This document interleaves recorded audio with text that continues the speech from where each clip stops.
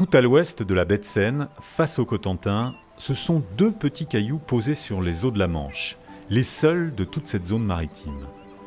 L'archipel de Saint-Marcouf compte seulement deux îles, les seules entre les Pays-Bas et Cherbourg.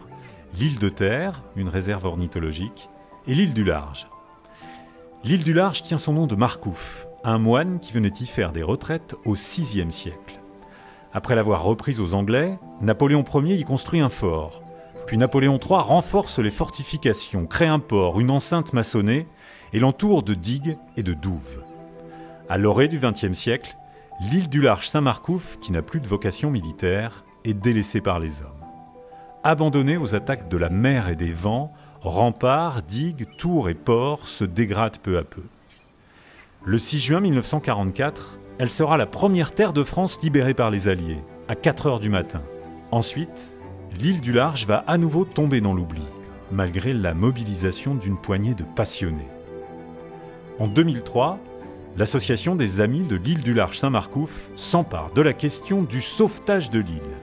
En 2009, elle obtient l'autorisation d'engager des travaux et en 2017, le ministre de la Culture la déclare monument historique.